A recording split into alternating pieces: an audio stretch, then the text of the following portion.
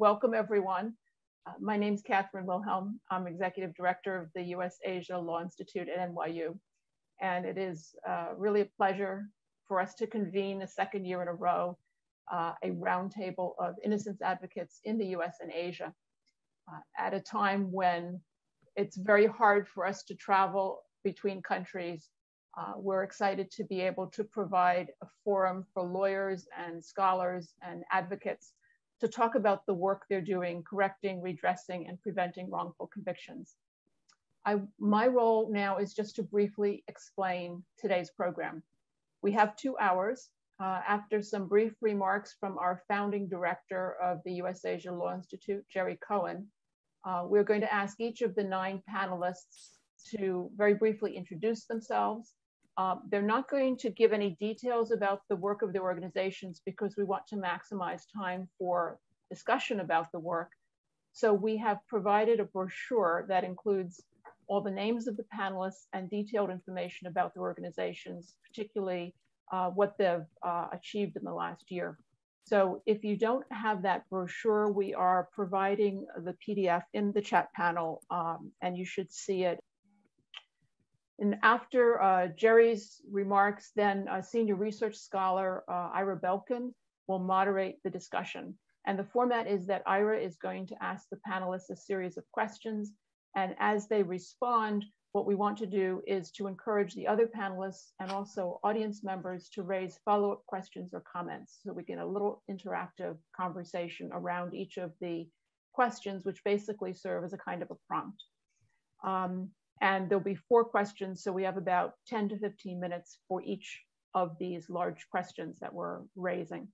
Uh, panelists who want to jump in uh, out of after their comments, if they want to jump in with a further comment, they should uh, raise their hand.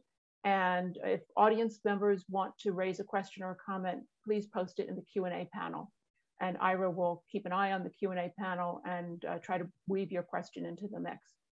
So that's it from me. I'm going to hand the mic to Jerry Cohen, who, as I mentioned, is founder and uh, director emeritus of the US Asia Law Institute and an active advocate of legal reform around the world. Jerry? Well, this is a very exciting evening. Uh, I've spent my life working in the field of comparative law, and to think that we can bring off a discussion like this on a East Asian American basis on such an important topic, it's exciting. Uh, I retired last year and I must say, I'm thrilled to see how Catherine Wilhelm and Ira Belkin and Chur Yin and Amy Gao and other colleagues have continued and expanded using the necessity of Zoom to really reach out in a way that our in law school programs could never do. So this is a terrific thing. I'm very concerned, of course, about wrongful convictions in the United States. Every day I read about them in the paper. And I'm working on the subject with respect to China, Hong Kong, Taiwan. And the comparative information we get from looking at the neighboring countries to greater China in Asia, it's very, very valuable and provides enormous perspective. So I'm really grateful to all the participants, and I'm looking forward with huge anticipation to what you're going to tell us. Thanks, Catherine and Ira. So, um, if I could start, um, I'm just going to, it's going to seem random to you because I'm just going to go in the order on my screen. So, Simon, if you could start us off. Hi, um, good good afternoon for me. Um, my name's Simon Cole, and I am director of the National Registry of Exonerations. Great. Kana? Hi, my name is Kana Sasakura from Japan. Um, I, um, I'm a founder of the Innocence Project Japan and also um, Shaken Baby Syndrome Review Project in Japan. Great to see you. Uh, Tina Yu from China. Hello, everyone. My name is Tina. Um, you can call me uh, Yu Tianmiao is my Chinese name. Uh, I'm from Shangquan Law Office, and we run a project called Innocence Project. Thank you. Great. Dr. Nam from Thailand, welcome to join us. Hi, I'm Dr. Nam Nampami Bunsalang. You can call me Nam. I'm the founder of Innocent uh, International Thailand. Right now, I also work as a provincial chief public prosecutor. Great. Um, Meredith, great to see you. Hi, everyone. Great to be with you uh, this evening for me, afternoon and morning, um, depending on where you are. My name is Meredith Kennedy, and I am the director of the Innocence Network. Great. Uh, Nathaniel, welcome. Hey, good evening, everyone. Nathaniel Erb here. I'm with the Innocence Project in New York, and I sit on our government affairs team. And uh, Yunqing, do you want to introduce yourself and your colleagues? Uh, yes, uh, my name is uh, Ke Yunqing from Taiwan Innocence Project. I'm the campaign director, and here is our executive director. Hello, everyone. Yes, thank uh, you. Luo Shixiang, and this is our new hired uh, researcher, Yu Ting. Yu Ting. Um, morning and good evening. Okay, thank you. Great. Um, uh, Lada Trisak, I hope I'm pronouncing that correctly. Welcome, also from Thailand. Hi, yes, you got that correct. Uh, my name is Lada, and I'm a lawyer practicing in Thailand. I, and I also uh, work as a lawyer for Thai, uh, Innocent International Thailand. Great, welcome. For, with Dr. Nam. Yeah, wonderful to have you. Uh, Thank you. Wang Wanqiong 律师, Wang 律师, I see you're calling in by phone. 你好，白教授，呃，我是王律师，现在在四川成都， 呃，参加大家今天这个会议，很高兴认识各位，谢谢。 So the first question, uh, which I think is front of mind for everybody, is to what extent has the COVID-19 pandemic affected your work, and how have you coped with the challenge of working um, during this during the pandemic? Um, I think I'm going to start, uh, Nathaniel, with you, if that's okay. Um, and maybe you could also explain your role in the Innocence Project and generally how the Innocence Project's been coping uh, during the pandemic. Yeah, absolutely. Uh, again, it's a pleasure to be here with everyone. I cut my teeth in international politics and comparative law, and that's where I came to came from when I joined the Innocence Project a year ago. So it's it's fantastic to be back in the in the realm of things with you this evening.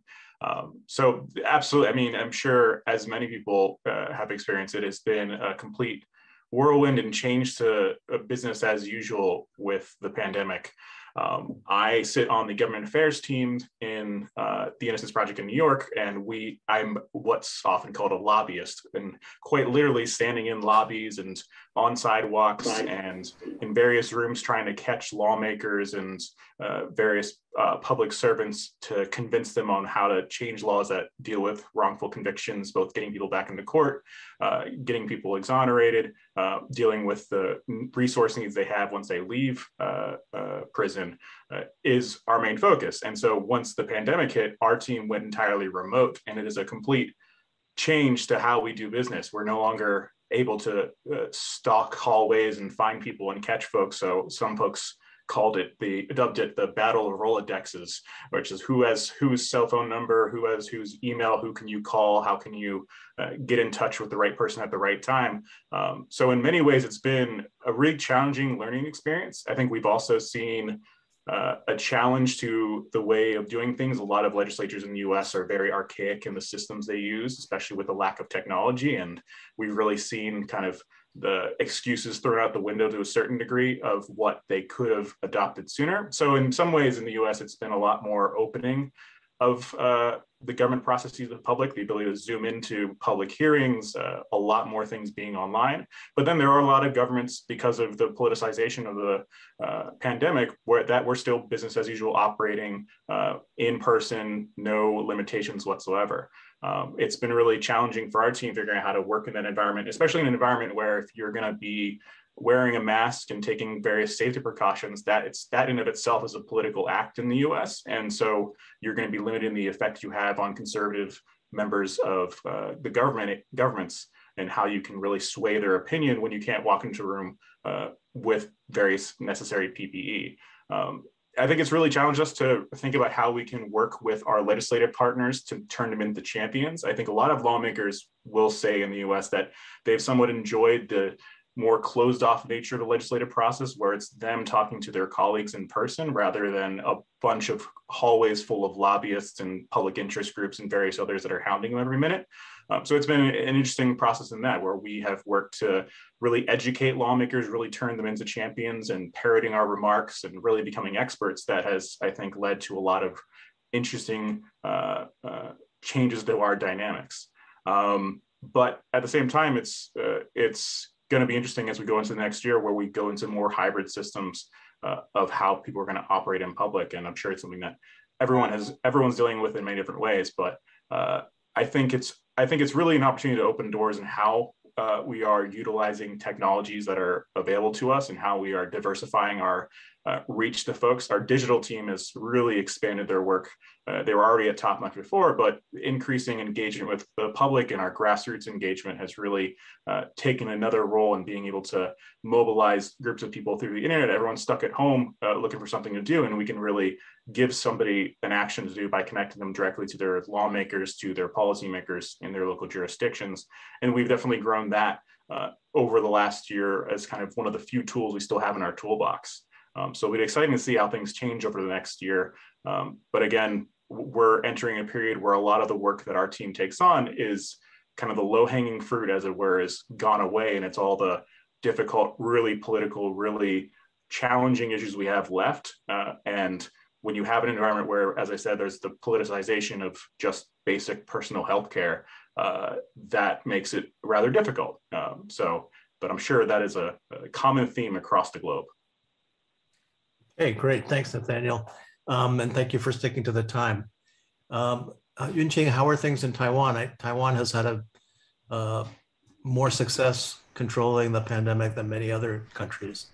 Um, so we're envious. Uh, but how has it affected your, the work, your work and the work of your colleagues? Um, I assume you also visit clients in prison and go to court. Oh, I see. I feel a PowerPoint coming on. Yes. Um, uh, I, uh, I have prepared uh, several slides for each questions, but just for uh, clearly understanding what I'm I am talking about. So yes, uh, thank you, um, Ira. That the the comparing to the situation in the rest of the world, I think the impact of the pandemic to Taiwan uh, can relate to relatively late and mild, but that doesn't mean that our work was not affected at all the most serious period of the pandemic in Taiwan, especially in Taipei, where our office locates, was uh, in May to July this year. So during the this two uh, period, these two months, we were not able to visit our clients in the prisons since we were forbidden to travel across cities, and it was not um, very common for the prisons in Taiwan uh, for now to use remote communications devices for this matter uh, court hearings and lobby meetings were also postponed, while the focus of the legislature uh, has shifted from um, slightly from judicial reform to the pandemic.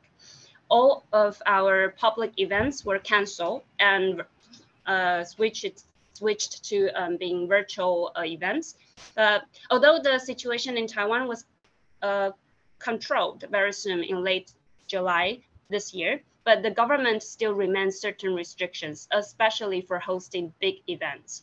Um, so we were forced to cancel our annual conference that usually take place in August. We also had some, of course, like everybody else in the world, that have some difficulties for switching um, to remote work. One of the most challenging um, we had was the challenging, but one of the most challenge we had was that most of our case files, especially the documents from the courts, uh, were not uh, electronic. So we were hence to um, forced to cancel several case reviewing meetings because our students and volunteers were not able to uh, access to these documents. But I think comparing to our counterparts in uh, all around the world, these kind of difficulties might sound um, a little bit mild, but uh, that's the that's the how the pandemic has affected our work in the uh, this two months or in this year. Thank you. Great, thanks. Um, if we can just move on to Japan and Kana. Um, we know. Sure. Yeah. Go ahead. Oh, okay. Thank you, Ara. So, so for Innocence Project Japan, it was a very challenging, um, especially in the beginning of the pandemic in early 2020.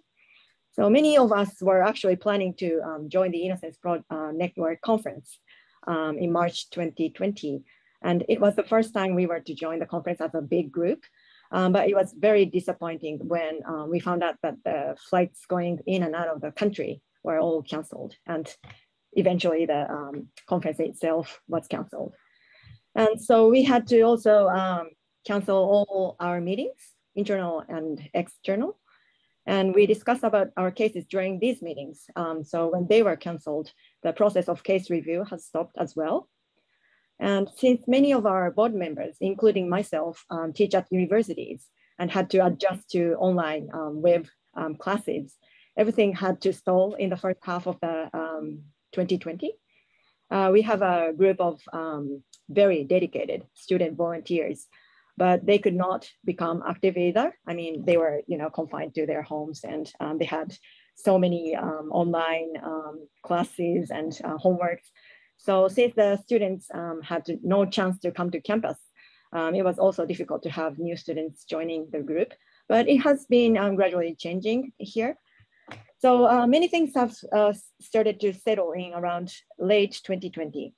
So we started to hold our monthly regional meetings in person and um, larger meetings online. And since we got all got used to online meetings, uh, which was a good side, uh, we were able to hold a seminar online in October this year. So it was a seminar on how to defend drug cases. And we had a very, very good um, turnout of people. I think it was about 100, more than 100 people came to join. So it was just because we held it online that many people were to, uh, able to join.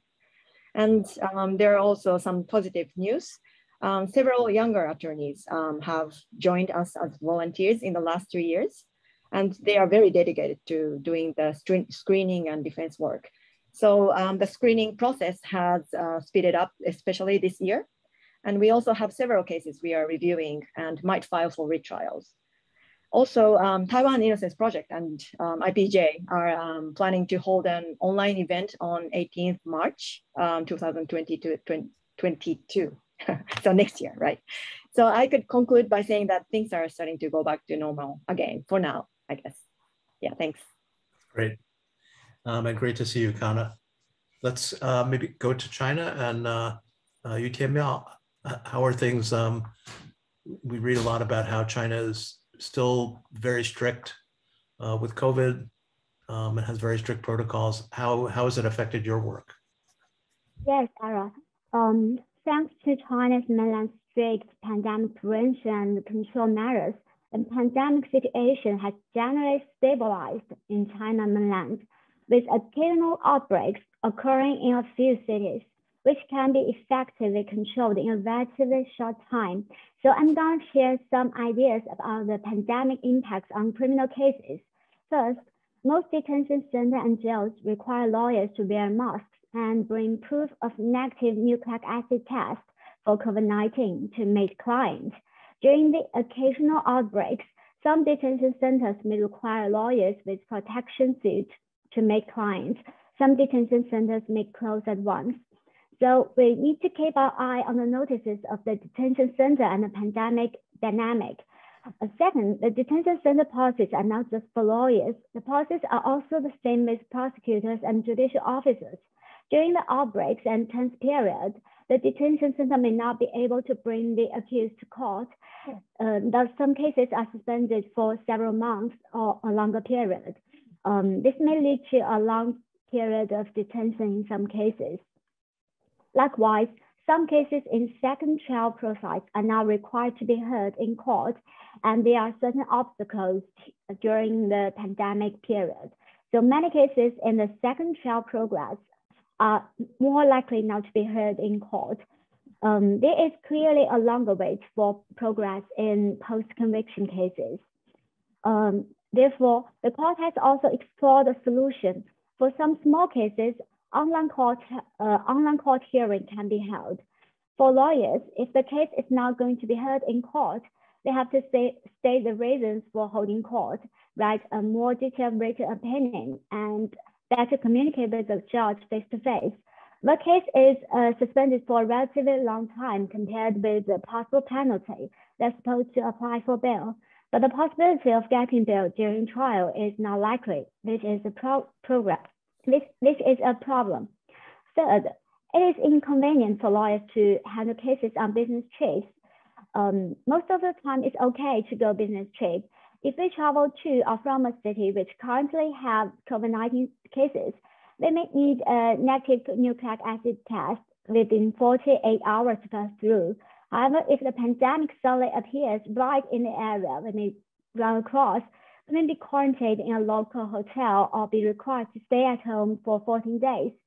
Generally speaking, the pandemic has had a certain impact on judicial trials and lawyers' work, but the overall impact is not so significant and can be handled.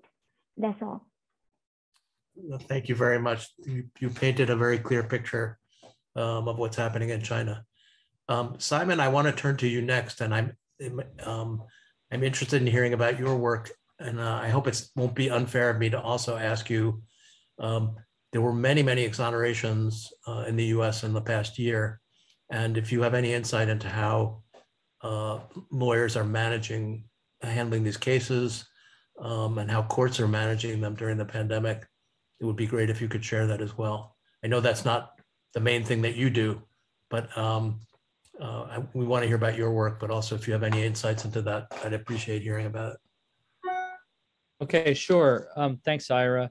Um, in some sense, uh, the National Registry of Exonerations has a staff of seven people.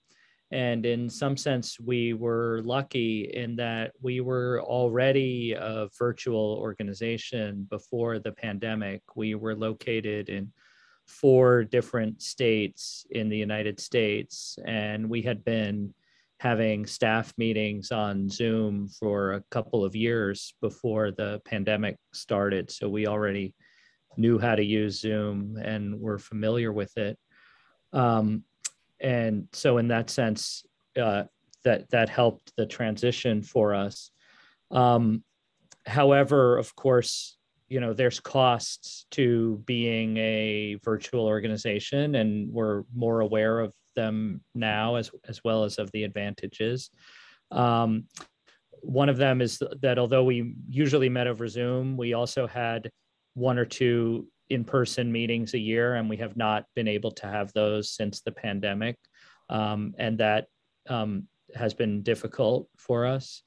Um, and the other is it's just you know you lose something when you're a virtual organization, and in the case of my university, it's having a kind of physical presence on campus, a place where an office where students can go and and see the registry at, at work and and so on. And so that's kind of a cost. Um, so with regard to your question, Ira, I guess um, we were we were um, many of you may know, you know, the courts have greatly slowed down um, their processing of cases uh, during the pandemic. Um, trials are not being held and are still increasingly rare. Um, so I guess we at the registry are surprised. We're somewhat surprised to see that the flow of exonerations is more or less the same as it has been in previous years. And so I think I think our best guess is that um, on the one hand, the the courts have slowed down so that would we would expect to see fewer exonerations because they're just not processing things. Uh, on the other hand um, lawyers are able to file motions um, on humanitarian grounds and making arguments about safety and and health um, and that they have a person who's alleging innocence and they're in prison and prison is a you know is a very dangerous place um, for health reasons and um, and so and, and in some sense that might be more persuasive for the courts so the those two things seem to have be maybe balancing each other out to some extent. And um, the the number of exonerations this year will probably be pretty consistent with with other years. Yeah, thank you. So um, we need to move on to the next question, but if anybody had something that they, on this topic that they felt they needed to say that hasn't been said, you could just raise your hand and let me know. Dr. Nam, how, how, how are things in Thailand? I would like to put this, this question to uh, Ms. Lada because as a practitioner, she, she facing this every day of working. So let, let her present. Okay, great. Thank you, thank you, and Dr. Nam. Uh, so what affected uh, most, uh, what, what, what affected us uh, the most is all court, uh, at the beginning and, and uh, during every wave uh, of the pandemic in Thailand is all court cases were postponed uh, and, and without new date. And so, so we were just waiting without knowing when it's going to be the next court date for, for us. So, so it, it was bad. And especially when our clients, uh, they were uh, they were not uh, released. Uh, so so they were just uh, locked up in jail, not knowing when it's going to be their, their, their day in court. So so well that that was bad because uh, you know they, they were just waiting in jail, and um, uh, worse than that is no visitation was allowed during that time. So uh, so we as a lawyer we could not uh, talk to our clients. So that we, we could not have we could not uh, do any case preparation preparation with them. And and uh, when all the local office, uh, they they they claim that they still operate, but basically we could not contact anyone. We could not call anyone. So no one answering the call. So so uh, so we we there there's no way for us to work on the case and and to prepare for the case. So that was really um um, the worst that could happen to a lawyer that is going to have um, trial um, in in who knows when. Yeah. So and is that, that, that's that still is that still the situation today, or has it gotten any better? Um, for uh, it's it's a little bit better because at beginning uh, we didn't have all the online system in place, but now they're getting uh, the, the court is, is getting better, doing better for uh, in terms of that. So uh, for, for, for some hearing, they they already allow it to be online and all parties uh, appear remotely, but but but still for for trials and and uh, for jail uh, for prison visitation, it's still um it it's still it's still difficult for us to um to every time every time we need to see if uh, it's going to be allowed this time or not but it's not like for sure. Just just like before the pandemic. Okay. Um, it sounds like a lot of no matter what jurisdiction you, you're in the pandemic has had a huge impact um, on people's work. Can I just pop in real, yeah. real quick? Um, so again, I'm Meredith from the Innocence Network. I and I, I interrupted Ira because I really probably have the most to say to you all, to all of you in response to this question, and I will say much, much less in response to the other um, questions that Ira's going to pose.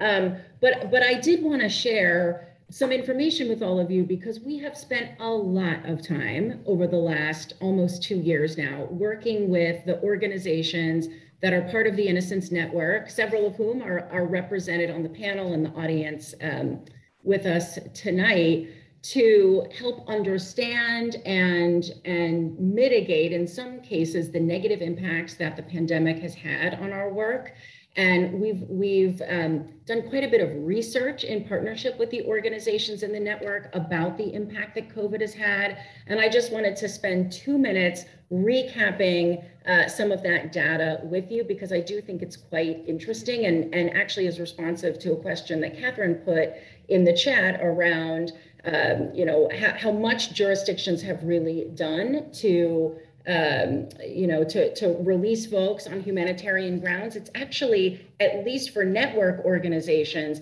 not as much as you might think. Um, so, so again, you all probably saw in the pamphlet that the Innocence Network is a coalition of 68 independent organizations. 56 of those are in the US, 12 are outside of the US. So we are primarily a domestic network, but the figures I'm going to share with you represent uh, everyone, and I will, you know, very much try to be inclusive in the, the data that I'm sharing.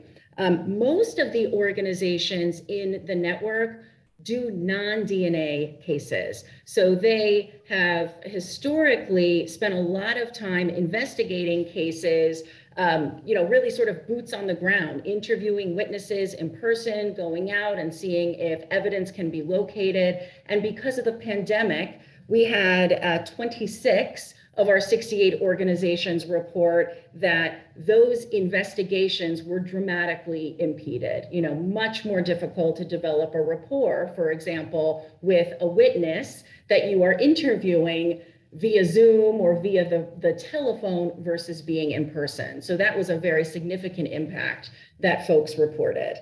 Uh, definitely client access and communication with clients that are currently in prison was another huge place where organizations that are part of the, the network reported a negative impact. We had 18 organizations point to that as being a very, very significant challenge uh, for them in the last year and a half.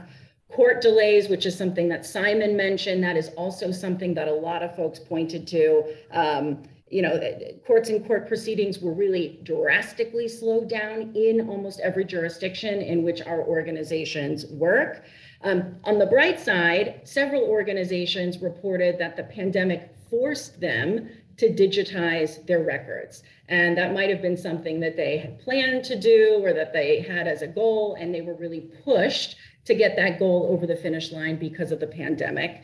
Um, and a lot of our organizations are nonprofits or NGOs. They have to raise their own budgets every year. And very few folks reported that the pandemic had a negative impact on their fundraising, which was a really good thing. We also talked with organizations in the network about what impact the pandemic has had on clients, their current clients that are in prison. Um, and, and I was quite surprised by the responses that we received to that question. So almost half of the organizations in the network, so 30 organizations in the network, um, reported that the jurisdiction in which they work didn't make any changes to prisons as a result of the pandemic, which is, you know, somewhat terrifying, right? And made them very, very um, concerned and worried for their clients' health. So uh, 19 organizations reported that the jurisdiction that they work in took action to reduce the prison population through things like early release, commutation, parole, clemency, um, things like that. So, you know, it's not nothing. It's 19 organizations that reported that. But again, that's out of a, a coalition of 68 organizations, so a smaller number than I might uh, imagine. Um, and some of the respondents that were part of that, that group of 19 said that those actions weren't even very robust. There were just a handful of folks who were released through those, um, those processes. Very few prisons in the jurisdictions in which we work implemented mask mandates or movement restrictions. We only had six organizations say that prisons in their, their jurisdictions took those steps.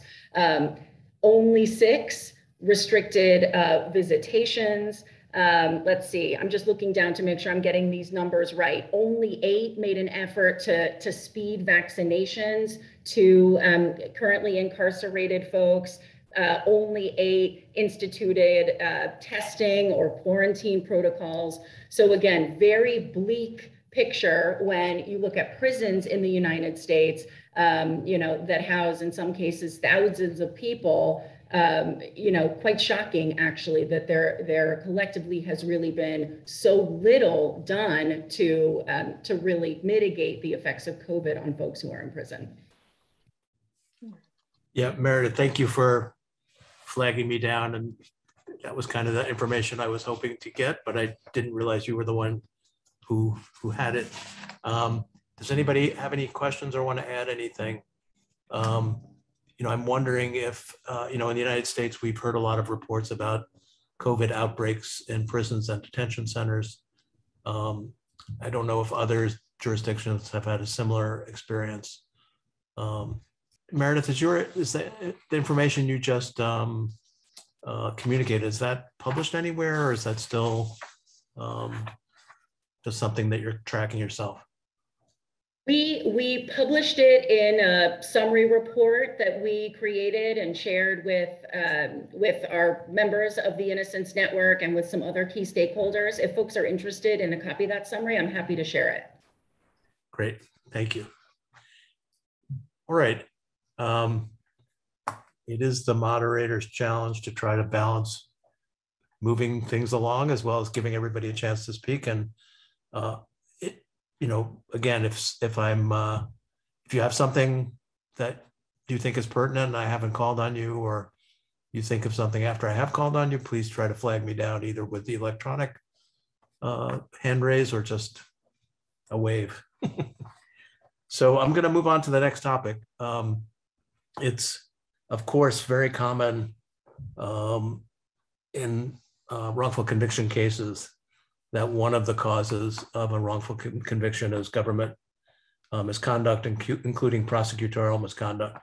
Uh, one of the issues we want to talk about, um, we want to talk about the role of prosecutors in creating wrongful convictions. And then my next question after we go give everyone a chance to speak will be um, the role of prosecutors in uh, assisting in exonerations. But first, let's talk about government misconduct and what your organization has encountered, um, you know, in the past year.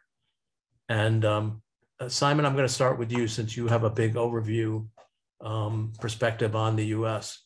Yeah, um, in the U.S., uh, according to our numbers so far, the uh, exonerations in 2021 that 68% of them, so uh, more than two thirds of them, involve some kind of government misconduct, um, including prosecutorial misconduct. Um, so that's um, that's very high. Um, of course, government misconduct is always high. It's always a leading cause or the leading cause contributor to wrongful convictions. Um, but the the historical figure is more like 55%. So so it's even higher. Um, I think that that's probably because of the um, cases out of Chicago. Um, the, a um, uh, a big case involving a group of police officers who were planting drugs on people and extorting drugs and money from them um, uh, which is now up to 87 uh, exonerated defendants, um, all from this group of police officers in, in Chicago. And there's about 15 of them in the 130 or so exonerations in 2021. So I, I think that's probably the, um, the reason for that. And that's, um, that's not prosecutorial misconduct, that's police misconduct. But um, so it continues to be um, a very common contributor to wrongful convictions in the United States. Okay. Um, Simon, do you, can you break uh, down the, the, forms of misconduct a little bit, or is that, um, uh, I don't know if you have that available, or should we come back to you? Yeah, not not right now. yeah. Okay. All right. Um, I want to turn uh, again to Dr. Nam from, from Thailand. Um, and again, how big a problem is government misconduct, especially prosecutorial misconduct in Thailand? And uh, I know you yourself are a prosecutor. Um, okay, as a prosecutor, I would like to say that uh, in our process in, in Thailand, we have no, uh, we have nothing to do in the process of exoneration. Even we have uh, the law for retrial for those who are claim that they are innocent. But uh, according to the law, we not allow prosecutor to to uh, initiate another trial. So the case that uh, they are prosecuted, so 90% of the case uh, were prosecuted by prosecutor. So only few cases that prosecutor can uh, making plea to the court for the retrial. So for me, I, I would say that uh, there is a lot of problem in, in, in our system. uh, even in the prosecutor process, they have the very passive, uh, very defensive attitude. So that in the court as well, they try to hide what they have uh, done uh, wrong. So uh, for for the people outside our our system, our office, please uh, let Lada, Miss Lada to to present her her experience. Okay, thank you. Yeah, so uh, thank you, Dr. Nam. So uh, just just as Dr. Nam said that, uh, uh, well, well, my, my answer to, to the question is, uh, what what concerns us most is the police misconduct because we've, we've had um, problems with police misconduct and, and it surely contribute to uh, wrongful conviction because uh, in terms of uh, credibility, uh, whatever they did uh, um, to the case and whatever the information they they they um, they they add into into their um, um, report or present it to the judge eventually, uh, the judge will likely to believe them more than our witness, such as their well uh, the uh, um, the the problems that that you can encounter would be like um, forced confession and um, physical abuse uh, during the invest uh, during the um, uh, well their investigation. And um, you know and, and it leads to like false um, um, fa- false confession and and uh, and uh, misapplied uh, forensics um, science and and uh, and, and and yes and and the, and, and it surely contribute and okay so uh, because all these information in Thailand um, by design is uh, the system by design is um, um, uh, gathered by police and um, just maybe one or two before the deadline that the case needs to be filed to the court.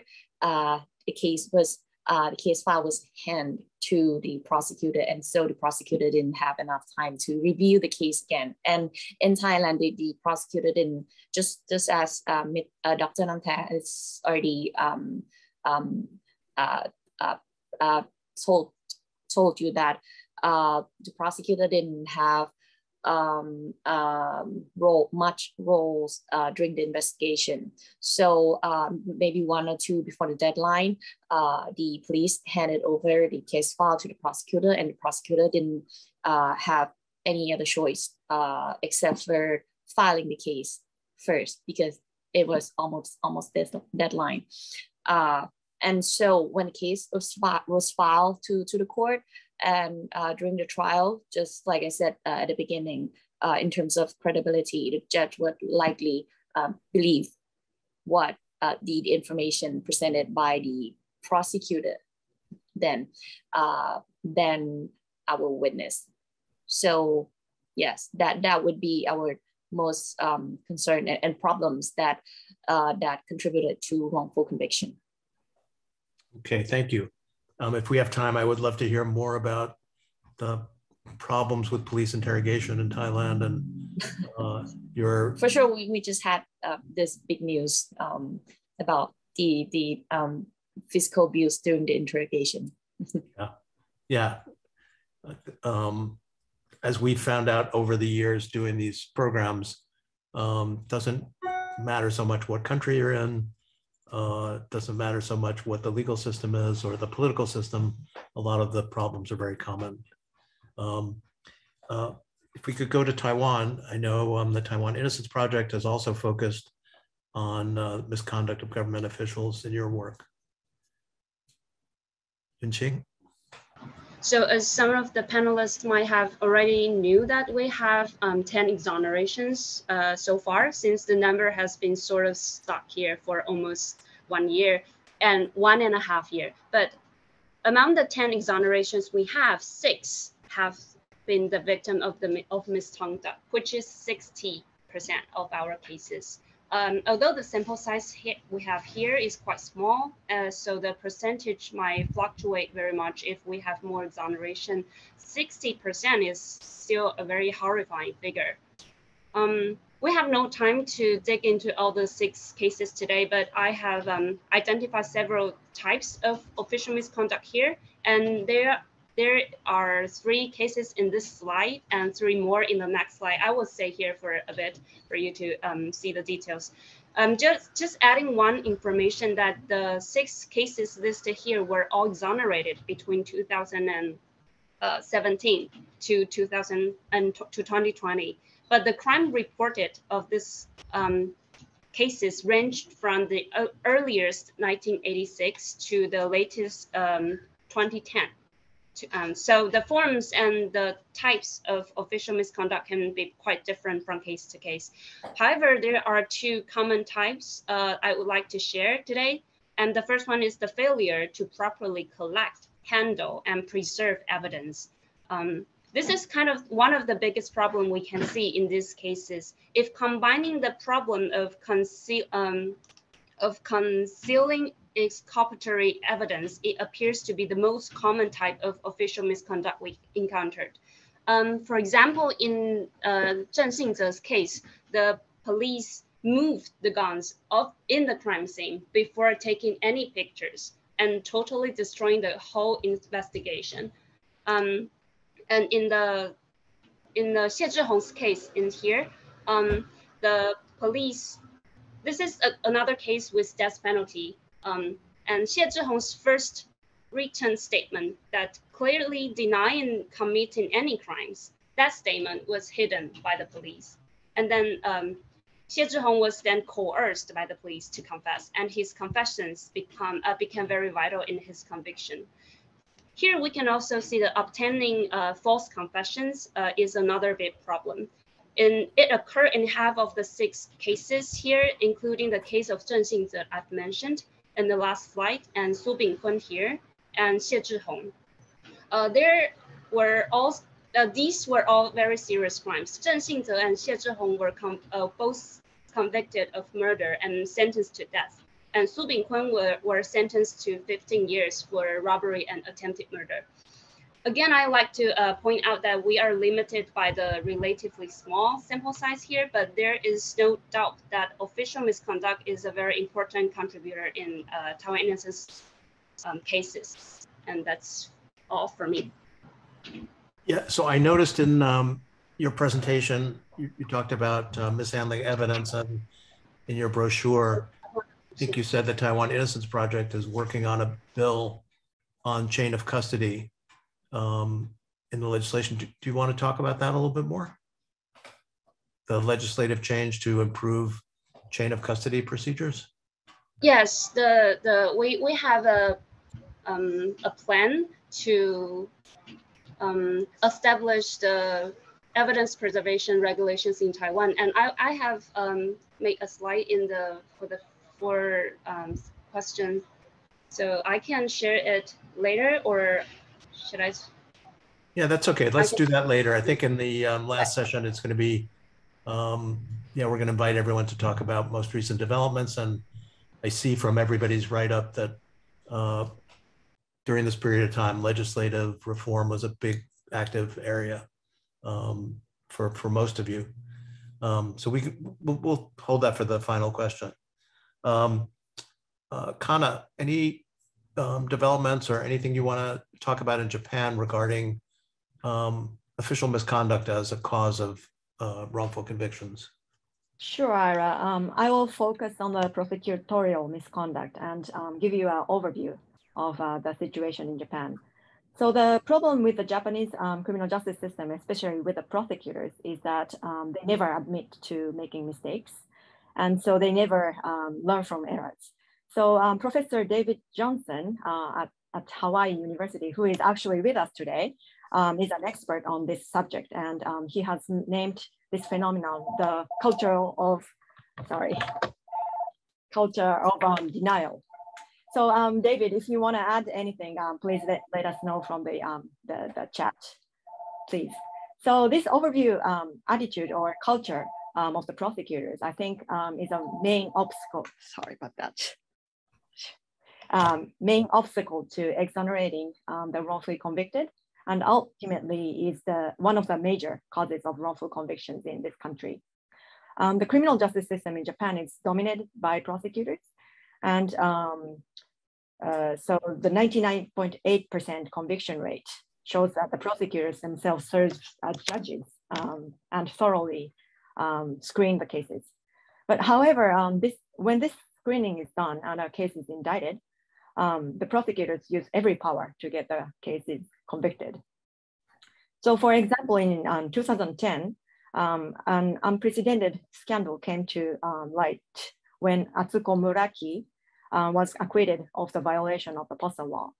So the evidence of her guilt was a confession um, of a co-worker who was also indicted as co-conspirator and inculpated um, Muraki. The court found his confession unreliable and acquitted Muraki.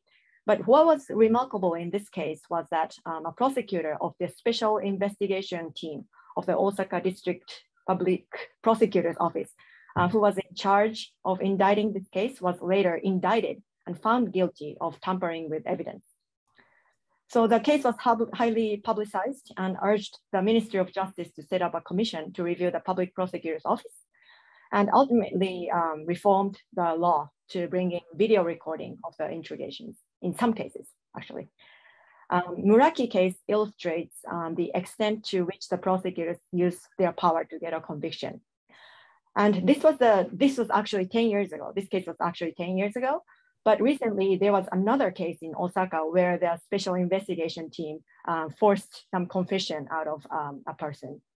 And um, Mr. Nishi, who is with us today and is a member of the Innocence Project Japan, um, had worked this case and acquit, I mean, uh, and exonerated this case. And also in retrial cases, uh, the prosecutors are very, very reluctant to admitting their mistakes. So in Japan, um, to get a retrial, one must have a clear and new evidence uh, which sheds a reasonable doubt to the conviction. However, all the evidence which were collected in the original investigation is in the hands of the prosecutors. So, um, and they are very reluctant to disclose these evidence. And even if there's important um, evidence or of innocence, um, I mean the Brady material. So furthermore, when the courts grants a retrial in one of the cases, the prosecutors will almost always appeal the decision um, which will result in delayed justice. So one of the reform agendas now is reforming the retrial laws, including um, creating evidence disclosure rules in the retrial stage and prohibiting the appeal of the prosecutors to decision granting a retrial. Thanks. Thank you, Kana. So I'm curious, in Japan, is it a, a legal requirement that prosecutors disclose any exculpatory evidence? it is not a legal requirement. Okay, that's so we don't we don't have the Brady rule. Well, um, all right, that's even with the Brady rule, we have many many of those cases. So um, without it, I I can only imagine how how difficult that must be. All right, I wanted to go to Nathaniel from the Innocence Project. Um, and uh, um, how has your work been affected by um, official misconduct, either you personally or the Innocence Project in general? Yeah, absolutely. Uh, it is uh, unremarkable, but also still remarkable uh, hearing that a lot of the issues that we all experience across the globe are very similar. Um, it strikes me, uh, again, bringing back my experience in international affairs and a lot of international criminal work of the export of US jurisprudence across the globe over the so many decades has maybe affected a lot of that. And I think we in the US have a lot of responsibility for a lot of these issues elsewhere. And I think strikes strikes me also is the pursuit of the confession, regardless of how coarse that confession may be. And I think I think too our policy work and a lot of the work that we do really focuses on tacking the various aspects of an interrogation and how it produces false confessions uh, in many different areas and how we can protect the integrity of of, it, of the interrogation. Um, obviously, that relates directly to the involvement of law enforcement. And then when you get in the hands of prosecutors, we have a, a major issue within the inability to really hold prosecutors to account. Um, you have uh, within law enforcement in the US, we have the legal doctrine of qualified immunity, which is uh, basically an absolute protection of law enforcement from uh, any type of legal action stemming from misconduct that occurs in criminal cases. But then when you expand it to prosecutors, you have what is true absolute immunity in the US and is the total inability of prosecutors. Uh, inactions uh, or inactions in criminal cases. Um, the courts back in the 1970s decided that uh, it was uh, a hindrance to uh, uh, criminal investigations to be able to, to, have prosecutors held to account in any way. Um, we continually face across uh, many cases and uh, having prosecutors and law enforcement as the gatekeepers of uh, both uh, exonerations as well as political reform being a major obstacle to things we deal with here in the US. Um, so yeah. Thanks. Let's let's go to China. Um, and uh, lawyer Yu Tim Miao. Um, how does uh, official misconduct, either by police or prosecutors, um, how has that affected the work that you're doing? Is it uh, how is it a major cause of wrongful convictions in China? Thank you, Ara. Um, I, I have noticed that in his presentation, I think the answer here in China mainland is very similar as Taiwan. So we are a family. uh, I don't know if uh, Wang Wanqiong have any uh, answers for this question further. 刚才听了这个咱们泰国，包括台湾地区以及日本的这些代表的发言，很受启发。呃，对于我们刚才提到说中国的司法体系当中，那么检方的不当行为确实是造成冤错案的一个重要原因之一。当然，刑事错案的成因很复杂。呃，在我们的司法体系当中呢，呃，侦查机关的错误立案。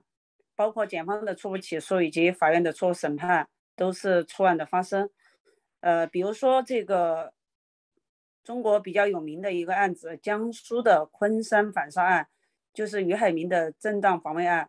最初呢，就是侦查机关错误立案，呃，这个以故意伤害致死来立的案。但是现场视频曝光以后呢，引发了舆论的关注，全国人民呢，就是在网上来讨论这个案子。于海明的正当防卫案，最初呢就是侦查机关错误立案的，但是呢这个案子检方是提前介入，呃，所以说呢最后侦查机关撤案。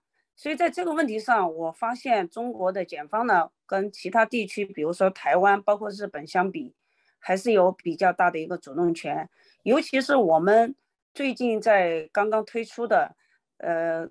这个公安部门和检察部门的共同成立的一个办公室，那么实际上就是，呃，检方会提前介入公安机关的侦查，尽可能的防止错误的立案和错误的追究，呃，但是呢，有一个不太好的地方，就是关于说检方可能造成冤错案的，就是检察院内部体系的一个改革，这个改革呢，就是所谓的我们说的。补诉一体化，就是说，我们中国的这个呃刑事程序当中呢，公安机关在刑事拘留之后，逮捕的权利是在检察院。那么检察院有七天的时间来决定是否给予逮捕，当然这个时间也是比较短的。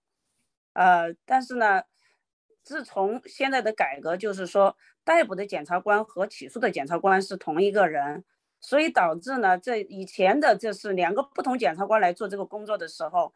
呃，他们内部可以形成一个制约和监督，但是现在这个补诉合一以后，就是说谁逮捕的谁来负责起诉，那么导致这样的一个监督环节已经没有了，所以呢，这也是导致很多这个可能不应当被逮捕的案子，因为检察官的错误逮捕而强行起诉到法院，这是我们认为检察官的不当行为导致这个呃这些。呃，人被错误起诉到法院，最后错误定罪的一个重要原因，这是呃一个问题。那么至于法院呢，因为我们的审前羁押是比较普遍的，也就是说，绝大部分被告在开庭前都是羁押在这个看守所的，呃，所以呢，这个到了开始开庭审判的时候，这个等待审判的时间非常长，呃，因此呢，法院的很有压力，呃，这个如果法院不判有罪的话。那么，侦查机关和检察机关有可能要被追责，所以法院经常在这个时候呢，会采取一种比较妥协的方式，那么实报实销，也就是说，关多久就给他判多久。其实这种情形很多时候可能本来就是一个无罪的案子，呃，这是我们提到说关于检察机关的一个不当行为。当然，你说中国的检察机关呢，它还有一个职能就是法律监督职能，尤其是在呃错案的重审当中呢，检察机关发挥的作用还是比较大的。嗯，你比如说我们有一个呃这个申请再审的一个途径，就是向检察机关呃这个嗯申申嗯这个申诉复查处呢提请。嗯，要求他们来进行审查，他们发现有问题以后，也会向法院提出检察建议，要求纠正这个错案，或者说他们可以直接提起抗诉，那要求检察院、法院重审此案。比如说我曾经办理的海南陈满杀人案，就是最高人民检察院直接向最高人民法院提起抗诉而得以纠正的。呃，当然在这个时候，啊，不好意思啊，王律师，下一个问题就是提到这个。呃，就是检察官在呃那个侦救冤假错案的的这个呃作用，呃，这个麻烦你，那那个等会儿再说吧。好的，我的发言就到此，卜教授，谢谢。Okay, thank thank you. So I just want to uh, comment that, it, and and this seems to be a common issue among many jurisdictions in Asia, where the police and prosecutors really operate um, independently of each other. The police conduct the investigation and then hand the case to the prosecutors, which puts pressure on the prosecutors to just accept the work that the police have done. Um, that seems to be a common issue as opposed to prosecutors and police working together, which doesn't solve every problem, but um, uh, at least the prosecutors might be able to exercise more supervision over the investigative work of the police. Um, I think um, I'm trying to was trying to listen to um, the Chinese and look at the chat as well. Uh, I think one of the other issues that uh, lawyer Wang mentioned was um, the pressure that prosecutors and courts are under to process cases quickly, and so judges, even in weak cases, possibly cases where defendants are innocent, um, they sentence them to time served to avoid um, having to uh, seek accountability for the prosecutors or the police to have made mistakes. So um, I just want to check and make sure that I gave everyone a chance to speak on this topic. I'm looking around my screen. Um, and uh, I don't see anybody waving their hand. So I'm going to move on to the next topic, which Lawyer Wang started to talk about. And um, uh, I think this has been in the news in the United States recently. I see that it was mentioned in a couple of the summaries that you provided. And that's the role of prosecutors sometimes in trying to correct an injustice. Um, uh, I think the conviction integrity units in the United States, especially recently in Detroit, Michigan, have gotten a lot of attention um, uh, in terms of their work uh, exonerating the factually innocent. And so this seems to be a topic that a lot of people were interested in. Um, and um, I, I, think I'm going to start uh, with Taiwan, uh, uh, Yunqing, because I, I, noticed that you mentioned in your summary um, the introduction of conviction integrity units in Taiwan. Um, and I know in past discussions, you've also talked a lot about how helpful it can be or how difficult it can be sometimes to get the prosecutors on board. But if you do, how helpful it can be. So can you talk, talk a little bit about the role of prosecutors in Taiwan in exonerations? Oh. Yes, uh, thank you. Uh, do you see the slides? yes. Yes. So the, the, the answers to the two questions are the same. Yes, they uh, the prosecutors in Taiwan can be quite helpful uh, in exonerating innocent persons in the post-conviction context. And yes, they have been helpful, but I think they could be more helpful than they are now. And um, there's reason for that. But before um, before that, I, I want to like to share uh, with you uh, three exonerations worth mentioning. And uh, according to our code of criminal procedure, the public official shall give uh, equal attention to matters favorable and unfavorable to an accused. So based on this principle, it is also the duty of the prosecutors to step in if they notice any wrongdoings, even in a post-conviction context. there have been three um, exonerations in Taiwan where prosecutors had played uh, positive roles. Uh, the first one is Liu Jieming. Uh, in this case, it was a prosecutor who filed a motion for a post-conviction DNA test, and it was he who filed a motion for a retrial uh, based on the new result, hence uh, bring about his the Liu Jieming's exoneration. And in the second case, uh, Zheng Xingze's case, the prosecutor unprecedentedly filed a motion for a retrial on behalf of a death row inmate, and that is um, never seen in Taiwan's judicial history. That action has largely uh, accelerated the whole process of Zheng Xingze's exoneration. Uh, and the third case is Zheng Xingze, uh, no, Xie Zhihong. Uh, Xie Zhihong is another prosecutor, uh, is another case that I have mentioned before earlier. And in this case, another prosecutor stepped in and he discovered the evidence hidden by the police for 19 years. Um, he filed a motion for a retrial on behalf of Xie Zhihong, and Xie Zhihong was fully exonerated uh, in, 2000, in 2020. So although it has already been the prosecutor's job to right the wrong and to tackle on the issues of wrongful convictions, and they have uh, been doing uh, some work of in this issue, but it, this task usually is not their top priority. In 2017, we successfully set up the Conviction Integrity Unit in Taiwan under the prosecution office. However, the CIU in Taiwan has not functioned very well as those in the US have. For the past four years, it has only taken two cases. One possible reason behind this might be the prosecutors in the CIU in Taiwan still have to deal with their normal ongoing cases. Um, we have been urging the prosecution office to make this a specialized unit, but the change has not yet come. So this, despite the uh, performance of CIUs in Taiwan is not very satisfying. The confrontation between the prosecution and the innocence organization has similarly diffused in recent years. The cooperations between Taiwan Innocence Project and prosecutors have increased as well. For example, the, the Attorney General of the prosecution was willing to come to our annual conference in 2018 uh, to have a opening speech. And one prosecutor has even joined our project this year to write a manual for post-conviction relief practice, which is about to, uh, which has been published two weeks ago. Um, so our cooperation uh, on specific cases has also increased. Just in this year, the Attorney General filed a motion for extraordinary appeal for one of our clients whose innocent innocence had been proven via DNA testing. But the court dismissed the motion very quickly. And after this failure, the prosecution office decided to stop. So the actual collaboration um, between the prosecution and the innocence organization has started, but not yet firmly, firmly um, established.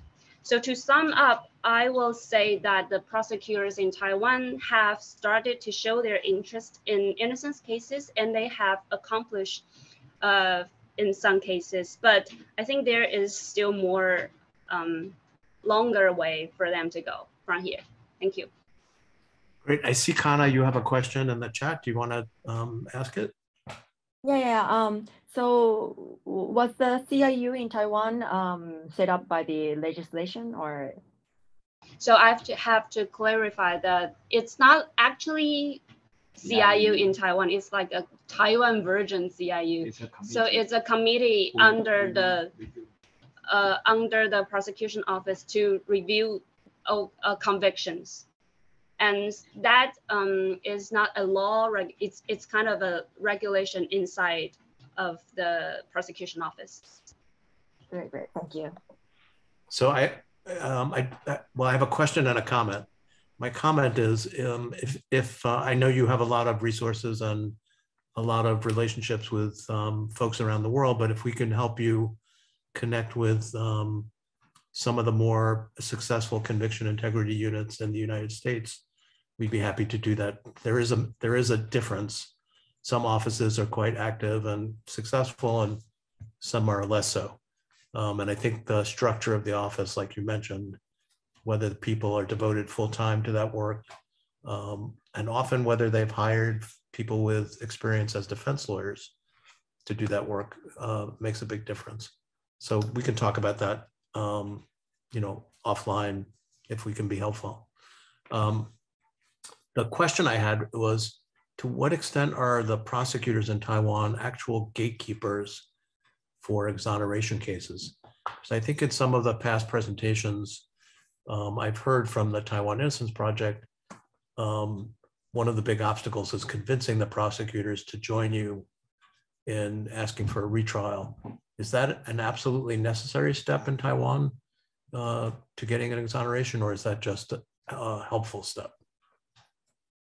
It, it will be a very helpful step if they decided to join, if we can convince them. But it's not a it's not necessary. We can file a motion for retrial only by on our on the defense side. Okay, thank you. Um, I want to turn back to uh, uh, uh, Wang Wanqiong or uh, Tina um, to talk about China. Um, Wang Wanqiong, I know 王律师，刚才你你已经开始回答这个问题，就是呃呃，检察院在呃针灸冤假错案的作用，呃，刚才你你已经开始谈了，你能可以继续给我们介绍吗？好的，好的，白。哎，好的。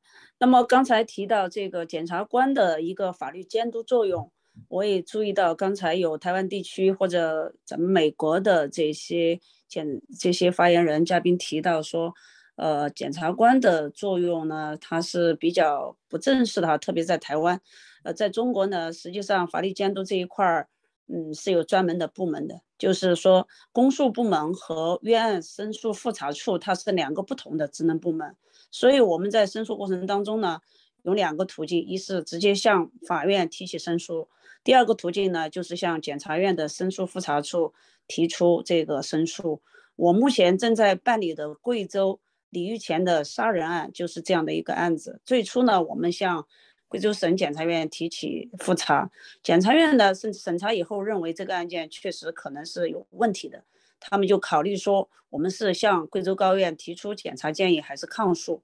那么后来呢，是呃贵州高院发现检察院有这样的一个呃意见以后，他们主动提起了这个再审。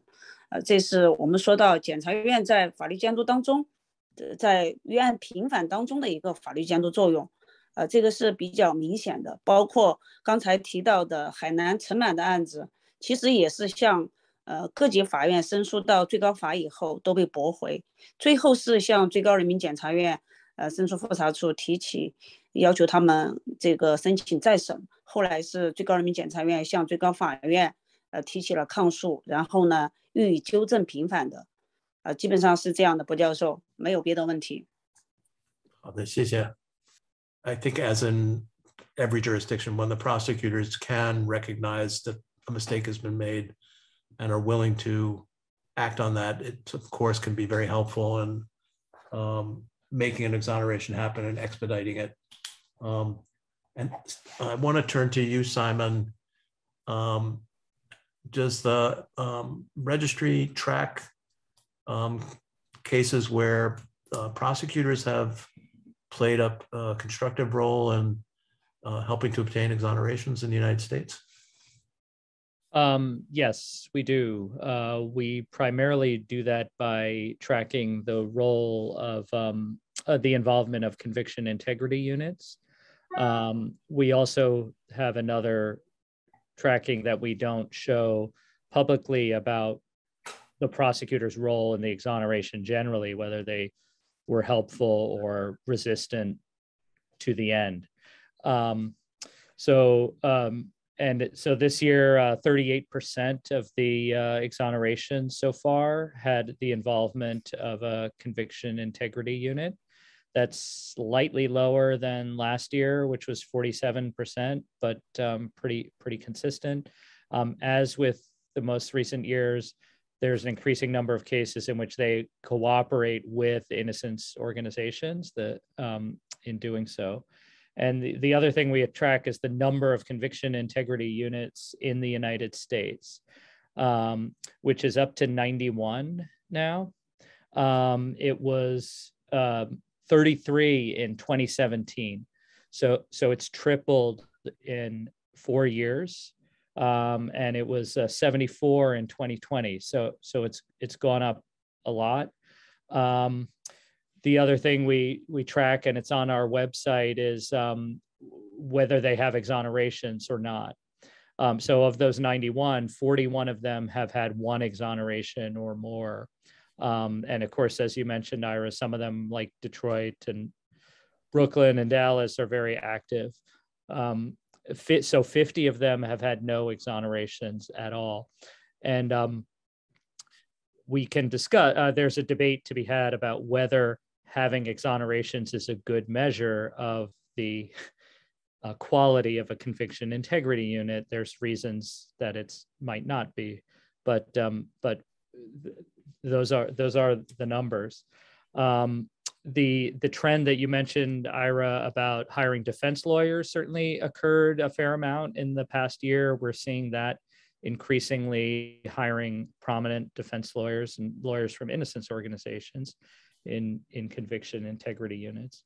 Um, and just finally, uh, we at the registry uh, find we're interacting more with them. Some of them are contacting uh, us when they've created a new conviction integrity unit and want to talk to the to the National Registry of Exonerations about exonerations and what we know about them.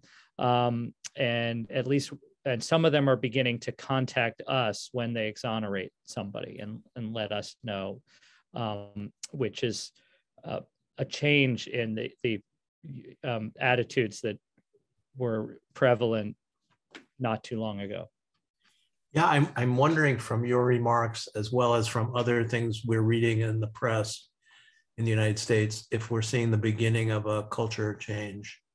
Um, I mean, I, you know, there was a time not very long ago, and I'm sure Meredith can speak to this as well, when the expectation was that prosecutors would fight, um, you know, to the end to keep a conviction. And that may still be true in some cases, but there also seem to be more and more prosecutors uh, willing to admit mistakes. And there is a trend in the United States for those of you in Asia who may or may not know, many of our prosecutors are elected and more and more prosecutors are running as so-called progressive prosecutors, not just uh, tough on crime prosecutors. Um, so I'm just curious, maybe I could direct this to Simon and Meredith and Nathan, if you want to jump in. Are you seeing, do you think the beginnings of a culture change among prosecutors' offices and conviction integrity units, or is that too too much to uh, too much of a um, overly optimistic point of view? Uh, I'll just briefly say yes. I think something is happening, and then um, we can hear from Nathaniel and, and Meredith. But I think I think I heard Barry Scheck this week give a statistic. Uh, maybe my colleagues can correct me if I'm wrong, that 20% of the US population now lives uh, somewhere where there's a conviction, a conviction integrity unit. Um, so, so it, you know, it, it is an increasing trend. We're seeing more every, every year when we count them. Uh, I'll let um, my colleagues comment. Mer Meredith, do you want to add anything? This is such an interesting conversation because it's really raising, for me, the need for us in the Innocence Network to do more tracking around collaborations with CIUs and with prosecutors. I mean, I think, Simon, it's fascinating to hear that we now have 91 CIUs in the United States. If you would have asked me to you know, just ballpark how many, I would have said 50. I would not have said 91. I mean, there has just been like an explosion of these initiatives in prosecutors' office offices, and you know, and some have not done much, and some it's probably too early to tell uh, what they're going to do because they are still so new. Um, you know, but I think at least within the Innocence Network, we we think a lot about official misconduct. uh, and the the negative role that prosecutors often have, you know, in wrongful conviction cases, and we we track that, um, you know, very specifically. We don't or have not yet tracked collaborations with CIUs, and certainly we have had many exonerations achieved by members of the Innocence Network in collaboration with conviction integrity units. Um, something that's actually coming up for us now in the Innocence Network is how to best communicate with CIUs. And, and what I mean by that is when you uh, are an individual in prison with an innocence claim and you reach out to an innocence organization to request assistance, you are typically then sent what we call a questionnaire, right? And you you fill out that questionnaire and you include a lot of information about the circumstances of your case and your innocence claim. And part of that questionnaire is usually um, a uh, you know an opportunity for you to say who else you've reached out to in the innocence network or innocence organizations to request assistance, and you give permission for those organizations to talk. And the reason we do that is because we don't want organizations duplicating efforts. We have limited resources, right? Um, limited staff, and we we want to avoid a situation where you might have two innocence organizations in Texas who, unbeknownst to each other, have both been working on the same case for a year. However, we can't really do that with conviction integrity units because there are real conflicts of interest there. Um, and I, I don't want to call out one of my colleagues that I know uh, was in the audience earlier, Justin Brooks from the California Innocence Project, but I was speaking to one of his colleagues from the California Innocence Project a couple of days ago, and she told me that there was just recently an exoneration achieved in Southern California by a conviction integrity unit there and when the California Innocence Project went and looked at their queue, that person had written to them and was was in their queue. And obviously, you know, if they knew um, that the Conviction Integrity Unit was also taking a look at that case, they would have uh, fast tracked it in some way. There, there could have been a collaboration. They just simply didn't know. So that's something that, again, we're really thinking a lot about in the network right now. How, how can we do a better job when when we aren't necessarily the organization that's taking the case to a CIU, right? When the CIU is really identifying the case on their own, what are ways that we can really learn about that and collaborate? Um, you know, again, at the very least, so we're not duplicating efforts. And I'll, I'll turn it over to Nate now with with his.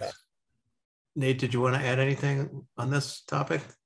Sure. Yeah. I mean, it's something we think about a lot in the policy department, and we're constantly in com- uh, uh, conversation with lawmakers as well as directly with prosecutorial offices that are looking to establish something of a, a review process. Uh, and I think it's it's it's obvious that CIUs in the U.S. have been an important tool of exoneration, and even more so today than they ever had before. And there are really great prosecutors out there who are doing the hard work and changing culture uh, in their jurisdiction. I wouldn't necessarily say I would tie it to a culture change across the US because I simply look at still the lagging adoption of the basic uh, Rule 3.8 of, of the American Bar Association around the what is the ethical responsibility of prosecutors just to turn over exculpatory evidence and to seek, seek to remedy wrongful convictions that they know happened.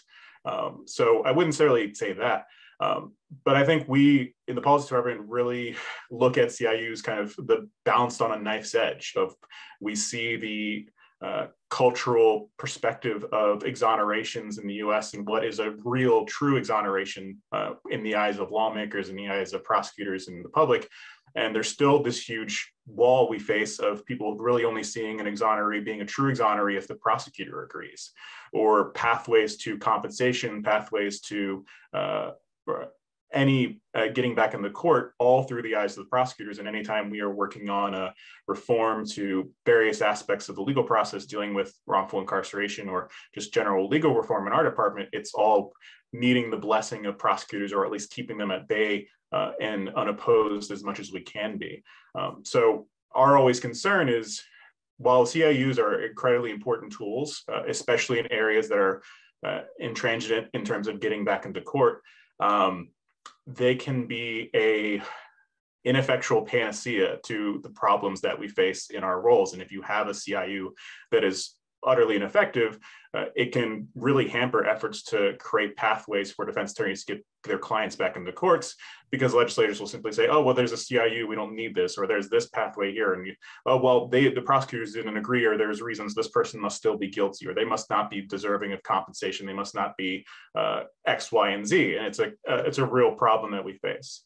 Um, so I think it's, and, and I think it is something that we work on. And we also have worked on a couple different issues recently of uh, laws around the country dealing with prosecutors being able to uh, initiate motions to vacate convictions.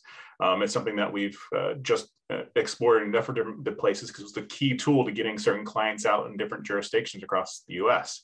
Um, so it's something that we're continually working on and exploring, but I think our first priority is always to ensure that there are the legal remedies and tools in place for defense attorneys to represent their clients and to make sure that it is a, a true adversarial process first and not just everything with the blessing of prosecutors. Because I think that's the danger we see of the reliance on CIUs as the ineffectual panacea uh, and kind of the um, white whale that sometimes lawmakers will chase as the, the solve everything type of problem and just pin it on the prosecutors as their responsibility to take care of.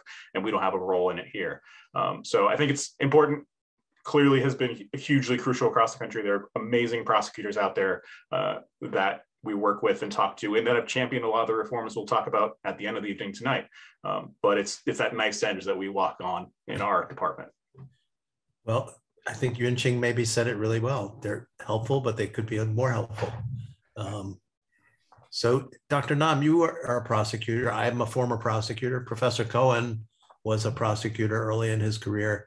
Um, and you said earlier, I think that prosecutors in Thailand don't have a big role to play in exonerations, but you uh, have taken the very unusual step as a prosecutor to start an innocence organization in Thailand. Could you talk a little bit about how you, why you decided to do that, and um, kind of how you see your role as a prosecutor personally?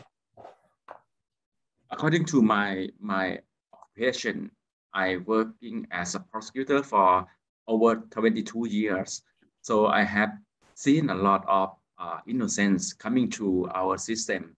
I try to help them personally by uh, put more investigation and order the police to do further uh, in investigation.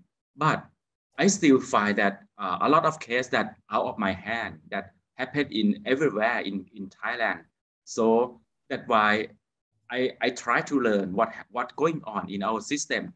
I can conclude that our system is a problem, it's a pro big problem because I don't know if you can imagine in the system that all the things have done by police at the investigation process. They can destroy, they can hide, they can de destroy all evidence they want. And under our uh, dictate, dictatorship government. So we cannot reform any law. Even I try to, to reform many, many law like reopen acts to allow prosecutor to reopen the case. In our, our system, prosecutor cannot reopen the case, even they see that uh, wrongful conviction happening. So because uh, the law said that uh, case that prosecutor can reopen that only the case that he not uh, prosecute that case. So as I said earlier, over 90, 95% that prosecute by, by prosecutor. So that that why prosecutor have li little role to do in, in this in this uh, kind of things. So I try to encourage. Then I, I found that no hope for this government and in, in, in past seven years. I try to encourage my colleague, my uh, office to do like, uh, we have to uh, do like uh, progressive law, right? Once crime uh, happen, we, we need to see the crime scene to correct uh, the evidence by ourselves. But I still find that the different attitude from my colleague. Most of uh, many of them are high, higher ranking than me, so they they not listen to me. But uh, I see the progress. I see the progression because many prosecutors are realize that we cannot rely on what written in the file in the report handing handing in by police. So we we try to uh, encourage our colleague.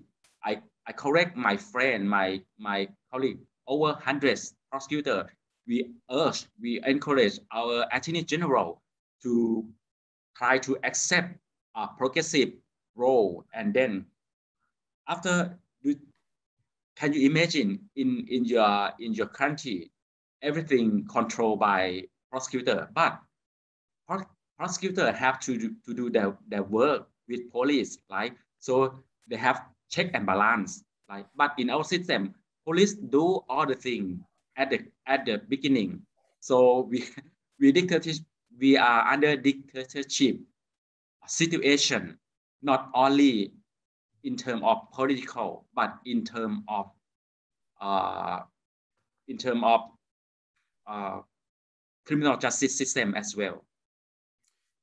Well, um, I would really love to hear more about um, your work and how your colleagues um, feel about this as well. But um, because of our time constraints, we're going to have to move on.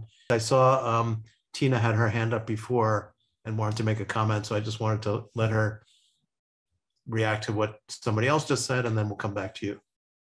So Tina? Thank yeah. you. Uh, okay, thank you. Uh, Dr. Wang has already introduced what a prosecutor can do in a post-conviction case before. Uh, I totally agree with Dr. Wang. Maybe I can talk a little more to further explain his idea. I've noticed that many cases, uh, many uh, retrial progresses are promoted by prosecutors. Uh, I have several post-conviction cases in hand. Some are noticed, noticed by judges. Some cases are noticed by prosecutors. Literally, according to the law, both judges or uh, and prosecutors should have the same standard to receive plea files. But in practice, the standard seems not so clear. Some cases are noticed by prosecutors, but the court wouldn't even receive files. So um, this case can also happen in another way, which means judges may receive files and notice the, uh, and they examine the case, but the prosecutors refuse to receive uh, files. So either it was a try. There was a case that the prosecutor have already uh, visited uh, the convicted family to, uh, this is my case, uh, the, the prosecutor in the case have already visited the convicted family to investigate the truth and heard my opinion. Uh, they are almost going to file a protest to the court but it's a pity that the prosecutor died of cancer suddenly. So the case is postponed. I mention this case to illustrate that prosecutors, what prosecutors can do in a post-conviction case. In other cases, the prosecutor uh, may re-examine the forensic evidence or trace evidence and so on. Uh, so uh, I hope that one day I can share this case detail to you if the case is going to have retrial program process and result in an acquittal. Thank you. Okay, thank you very much. Mm. Kana, thank you for waiting patiently. Um, can you tell us about uh, the situation in Japan?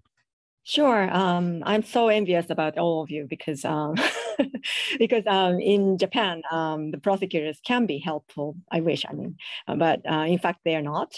So um, the Article 4 of the Public Prosecutor's Office Act in Japan stipulates that uh, the pro prosecutors are representatives of the public interest and also a document called the Principles of Prosecution, which was published by the Supreme Prosecutor's Office in 2011 after the Muraki case that I just described, uh, states that we shall strive to the utmost to discover the truth in each case with all of our knowledge and skills to ensure that no innocent parties are found guilty and all um, those responsible are brought to justice.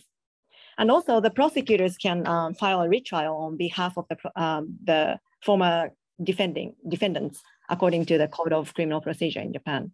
But these are all written in the laws or um, official papers. However, prosecutors are in fact overly concerned with winning or losing and almost never um, file a retrial on behalf of the, um, the defendants. So I think the Japanese um, prosecutors pro prosecution office lacks transparency and accountability. And also their resistance and reluctance to admitting their mistakes is very concerning. So I have in hand a journal um, called uh, Quarterly Criminal Defense. And um, in this issue of 2020, um, we have a special issue on prosecutors and wrongful convictions. So in it, developments in several countries are featured, including the United States, the CIUs, and Taiwan and Korea. And um, David and I um, co-authored a um, article on the developments in the United States. So the developments in your countries are actually a beacon of hope because since we know that the prosecutors can admit and correct mistakes, but we have a far long way to go. All right, thank you very much. Um, I want to thank everybody for your um, presentations and, and responses to the questions we had posed. Um, we're a little bit over the time, so the next uh, uh, section here, maybe we can do it simultaneously, which is uh, I'm going to ask each organization to just maybe pick one or two highlights from the last year um, that you want to talk about. And we had initially scheduled three or four minutes, but maybe we could shorten that to two minutes. Uh, and that I want to invite the audience members and all of the panelists as well to put questions in the chat um, now, and we'll collect them and we'll try to get as many of them answered as possible um, before we close. So um, again, this is kind of a random order, but uh, I think I'll start, Meredith, uh, with you. And, um, and, and Nathaniel, can you just highlight a couple of things? There's tons of great information in the brochure. The Innocence Project, as, as in every year, you've done a tremendous amount of work, but what are the one or two things you want to just make sure everybody knows about?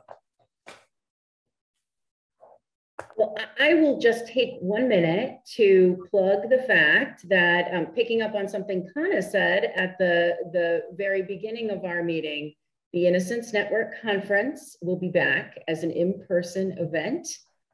We hope in uh, 2022, April 7th, 8th, and 9th. We're going to be meeting in Phoenix, Arizona at a hotel called the Arizona Grand. And, um, you know, this is coming on the heels of not being able to hold the conference for two years, not being able to gather together to see one another, to share information and share strategy and, you know, and most importantly, to um, provide all of the folks who have been freed or exonerated by the collective efforts of people in our community um, to come together. And, and for those who have not been able to attend an Innocence Network conference in the past, it is a truly unique and singular event, uh, very, very special. Um, no other event like it that I'm aware of that brings together so many different kinds of folks who are working to advocate for those who have been wrongfully convicted, redress the causes of wrongful convictions, and of course, those who have been um, victims themselves of the system and have emerged triumphant as, uh, as exonerated. Um, so please join us if you are able, and again, we are very, very cautiously optimistic this is actually going to happen. We are planning as if it will. Uh, and we are going to open registration on Tuesday. So check our website, innocencenetwork.org, for more information. Well, I really hope that the meeting does happen and that everybody uh, can attend. It is an amazing event, um, unlike any other kind of conference. And I know people who work in this area, and we've heard it from uh, several people that in your own country you may feel somewhat lonely um, doing this work. Maybe you don't have as many colleagues um, as you would like. And so the chance to come together and meet people from other jurisdictions who are doing similar work, who are facing similar challenges can really be um, uh, fortifying. Um, so, yeah, Meredith, thank you for sharing that. Um, again, let me go to um, uh, uh, Yunqing. Do, I know you said you were uh, saving some things for the end. Uh, yes, so uh, be, be, because of the time limit, I will um, skip of some of the developments. But for in this part, we like to focus on the progress of our legal reform. And the first one is the uh, DNA, the Post-Conviction DNA Testing Act. So since this act came to effect in 2016, it has been five years past. Um, however, only 18 cases requested a DNA test under this act, and only three of them have successfully conducted the test. We all know that it wouldn't be a guarantee for us to get a, pos a positive result in every test. So till now, none of those have been exonerated. The biggest problem of they here is the, the lack of evidence pr preservation regulations in Taiwan, as I have mentioned like many times before um, especially in the post-conviction context. Most of the requests um, for a new DNA test were denied by the court because of the samples have been destroyed. And that's also the reason why we're um, really working very hard on the draft of the evidence preservation regulations. Uh, and this is the one I am going to skip. So um, because we have the we have had the draft in, sent into the legislature. So, and um, I would like to share the two reform plans in the coming year. Um, for the Code of the Criminal Procedure, the Judicial Yuan has provided their comments in 2000 uh, about the revision in 2019. And after two years of deliberating and lobbying, now the draft has entered the legislature, le legislature again. In this uh, version, they have cooperated the, the Daubert standard from the United States uh, for the forensic evidence entering courtrooms. This is, um, if um, come to effect, will bring fundamental changes in the criminal proceedings in our country, and hopefully it can help enhance the quality of the forensic science in our judiciary. Uh, at last, as mentioned many times, we're trying to establish the regulation of evidence preservation in Taiwan, and we will work in two directions.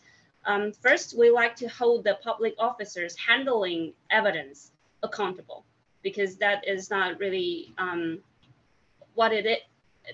That like kind of uh, that kind of responsibility was not clearly written in our uh, criminal in our code of criminal procedure. And second direction by asking the officers to inform the interest parties before destroying the evidence uh, after convictions. We like to strengthen the um, protection of the right of the convicted to secure the evidence so that they can maybe file a motion for a DNA test afterwards, after they were convicted of a, any crime uh, they they claim they didn't do. So we are still trying to developing the draft and working with the various um, experts and scholars and um, the different units in our government um, to find what structure and design of evidence preservation work best for the judiciary in our country. And that's all. Oh, oh yeah, yeah, yeah, yeah, oh, yeah, sorry. There is an, one more that uh, in this year, um, in March in 2020, we have translated uh, Blind Injustice from Mark Godsey, uh, our old friend, and oh, maybe some of you know him. Um, and this book uh, is quite popular actually in Taiwan society. So this is kind of a new progress I would really want to share with you that I we learn a lot from the network and this is a like a very specific result and thank you. Well, thank you, Yunqing. We invited Mark to join us, but I think he had a conflict. Uh, but now that you've translated the book, maybe you will translate the opera as well. Um, so uh, thank you. Um, Kana, you, um, uh, I made you wait till the end last time, but maybe you could um, share with us one or two highlights from uh, your work in the past year. Sure, Ira, thank you. Um, I'm just going to focus on the shaken baby, um, the progress that uh, we had with the shaken baby syndrome or abusive head trauma cases in Japan. So um, we launched a sister project of IPJ, SBS review project in Japan. um, which was which we launched in 2017. So we have been working for almost five years, and we have so far gotten eight um, finalized acquittals. Um, so in the past year, we have had three favorable de decisions, one Supreme Court decision affirming the High Court's um, acquittal, and two High Court decision affirming acquittal in district courts. So these cases, as well as other cases, have shown that there have been serious mistakes made by um, expert medical doctors um, in determining abuse in these cases. So eight acquittals in one category of cases is a lot in Japan with 99.8 um, conviction rate. However, again, um, in this situation, the prosecutors are not admitting their mistakes. So they are saying that um, publicly, actually, that these cases resulted in acquittals since the standard of proof is so high in criminal cases. or the judge uh, did not allow the evidence which uh, the prosecutors wanted to present. So by reading these um, acquittal decisions, the, these allegations are completely false, but they nevertheless uh, say that um, it, it, was not because of the, the person was innocent, but they failed. Um, I mean, the court did not understand the situation.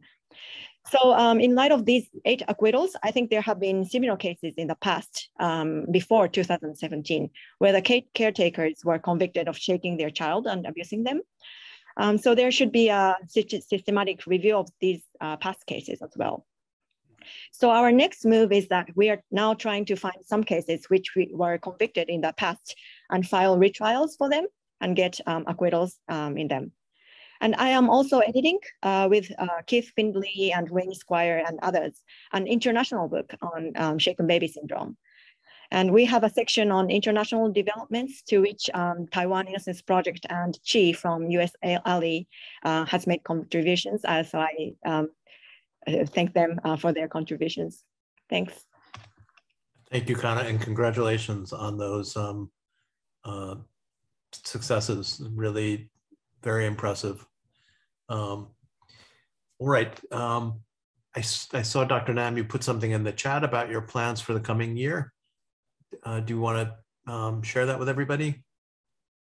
Yes, uh, I have heard that CIU uh, are about 91, right, in, in, in US. Yeah. So, but I, I think this is very, very uh, helpful if prosecutor uh, turn their face to, to uh, try to achieve what they have done wrong and try to revise that.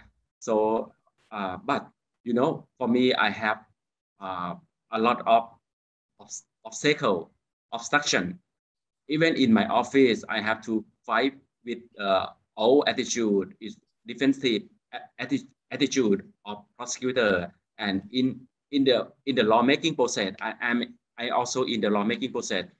Uh, I also file fight with the dictatorship government, they not allow the, this kind of law. So even I, I win, I won in, in the like in, in the panel, but I always lost at the at the when when they go to the to the government. So uh, yeah. hopefully one one day I, I win. Well, I hope so too. Uh, maybe next year when we come back, you will be reporting some victories. Um, okay, let me know. So I want to turn to China. This is just, uh, you know, one or two highlights from the last year of your work. I want to say something about our work. Okay, is, is that okay? Yeah, okay. of course. Okay. Um, uh, because of the pandemic, uh, our present cases is still waiting for the next step right now.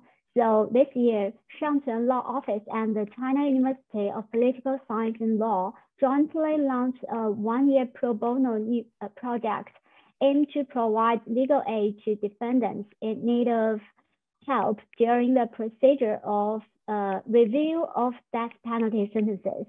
This is also a new try. We are hoping that we can help more wrongfully convicted defendants uh, in time and make sure make more contributions to the legislation of death penalty. And they are taking maybe four or five cases right now, and they are still working on this. Uh, I think more cases will be taken uh, in the uh, next few months. Uh, that's all. mm-hmm. your your clients are very fortunate to have some of the most skilled lawyers in China working on their cases. So I wish you the best of luck. Uh, Thank you. Yeah. 王王万琼，王律师，你要不要补充一点？呃，好的。一年来的一个呃比较突出的成就。呃，今年嗯非常惭愧，没有多少次突出的成就。没关系。呃呃，国家在这个死刑的 这个案件当中呢，我觉得比较突出的一个立法是关于非法证据的排除，以及呃对这个刚才田淼提到的死刑复核案件当中呢，加重了这个听取律师的辩护意见的这样的一个权重。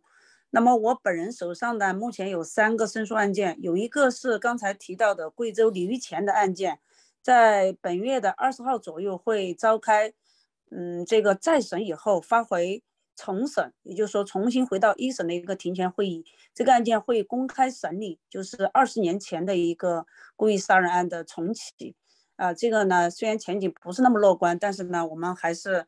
呃，非常希望能够最终让这个目前还关在监狱里面的这个李玉前呢，能够平反出狱。希望明年有好消息。谢谢教授。Thank you very much. Um, I only see one question in the chat, um, and I see that we're at nine nine o'clock, um, my time. Um, so, uh, are folks willing to stay just another minute? To, um, to answer this question. It's not directed to anyone in specifically, but it's some wrongful conviction cases happen, um, I think because of a wrongful inference, um, uh, a legal inference. And uh, the question is whether um, uh, you have an interest in wrongful convictions based on pure inference and legal procedure problems, I guess, as opposed to misconduct that we discussed earlier. Um, uh, so I guess the question is whether the Innocence Projects take on cases because of legal uh, defects as opposed to um, misconduct or mishandling of evidence. Um, so I think, you know, that's a big question. It probably would take a lot of time to answer. Um, maybe we could um, uh, ask the questioner to sort of send that to us and see if we can get a response certainly the websites of the National Registry and the Innocence Project, uh, I think cover um, all of the basic um, causes for wrongful conviction. So I would invite you to look at those. Um, uh, sadly, our two hours have gone by very quickly. It's um, kind of, it's great to see everybody, a little reminiscent of the times when we've been able to meet in person. And so it's a little bittersweet because it's you know, not quite as satisfying to uh, have the time to hang out and chat, but um, it's really better than not being able to see you at all. Uh, I want to just thank all of you for not just taking the time to participate tonight and all of the people who are calling in, um, but really it's just, um, it's great to see all of you and uh, we're such fans of all the work that you do um, and feel very privileged that we get to um, participate in these discussions. So thank you all very much. And uh, I hope you can all make it to Phoenix in mm. April. Um, but I hope that we can continue having uh, uh, these kinds of meetings from time to time. So good night to those who are at night. Good day to those who are in the morning. Shuxiang, wonderful to see you. Um, and um, everyone take care and stay healthy. Yeah. Yeah, here, here. Bye.